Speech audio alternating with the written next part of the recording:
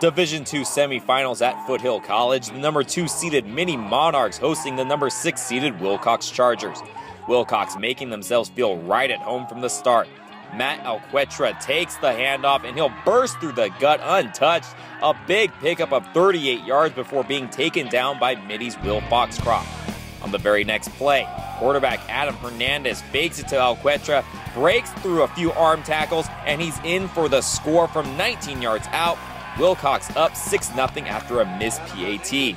But Mitty would answer right back. Monarchs at midfield, Foley surveying, but will tuck it and run. Races towards the sidelines and lowers the shoulder. Nice gain of 27 yards. Two plays later, Foley on the option, and he'll keep it for a 10 yard TD run after the extra point. Mitty leads 7 6. After a blocked punt put the Monarchs at midfield, Foley on the rollout. He'll throw on the run and finds Derek Bowerly at the 25. Bowerly would pick up extra yards before being taken down at the three. Mitty's next play, Foley is having the makings of a great night. He takes it in on the QB keeper. Monarchs up 14 6. Second quarter, Chargers on their own 25. Hernandez drops back and has all day to throw. He'll connect with David Martinez around midfield and he'll do the rest. Foxcroft can't chase him down in time.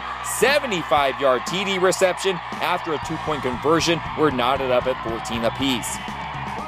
But Mitty counters right back. Foley drops back and is looking for Dakari Monroe. Sweet touch pass and a nice over the shoulder catch. Monarchs regain the lead 21 14.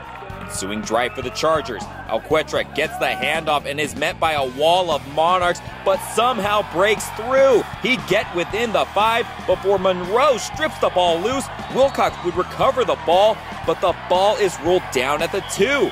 Martinez would run it in on the next play. The seesaw battle continues. We'd go into the half tied at 21 apiece.